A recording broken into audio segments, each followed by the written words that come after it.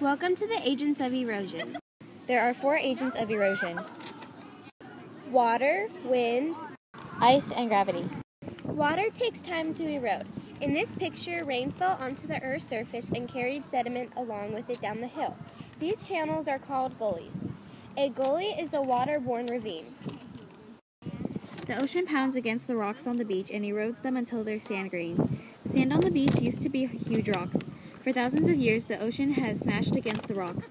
This causes the rocks to hit each other and chip off a small part each time.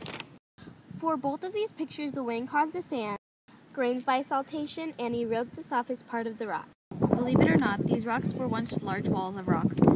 What happened was the water got into the little cracks of the rocks and the water froze. When the water froze, the water expanded and chipped off pieces of the rocks.